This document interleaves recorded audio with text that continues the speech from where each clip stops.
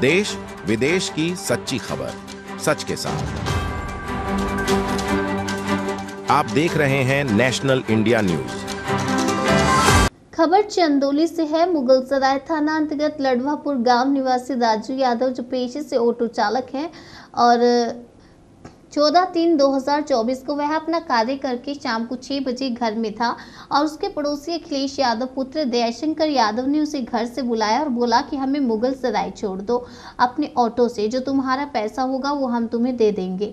राजू यादव अपनी ऑटो निकालकर उसके साथ मुगल सराय के लिए गया, लेकिन वहाँ लगभग नौ बजे के बाद राजू यादव ने अपने घर पर फ़ोन कर बताया कि हमें अखिलेश यादव ने चाकू मार दिया, मैं बुरी तरह से घायल हो गया हूँ। राजू यादव मुगल सराय से खुद ऑटो चलाकर अपने घर लडवापुर पहुँचा और घर वालों ने आनंद में ट्रामा सेंटर में भर्ती कराया। फ़िलहाल अभी राजू खतरे से बाहर है उसकी एफआईआर दर्ज हो चुकी है। राजू के भाई की मांग है कि प्रशासन से अखिलेश यादव पर सख्त कार्यवाही की जाए।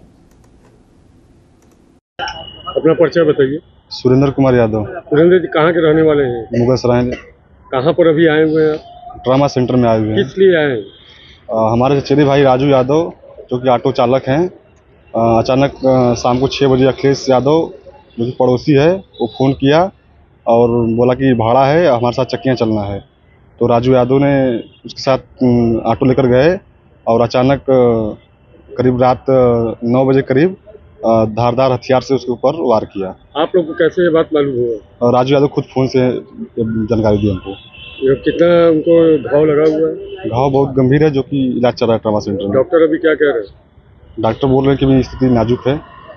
पुलिस ने इसकी कंप्लेन कराई थी? जी पुलिस में एफ़ हुआ है। कहाँ पर? चकिया में। क्या बोले वो? जी बोले कार्रवाई की जाएगी। एफ़ हो गया है? जी एफ़ हो गया है। प्रशासन से क्या मांग करते हैं?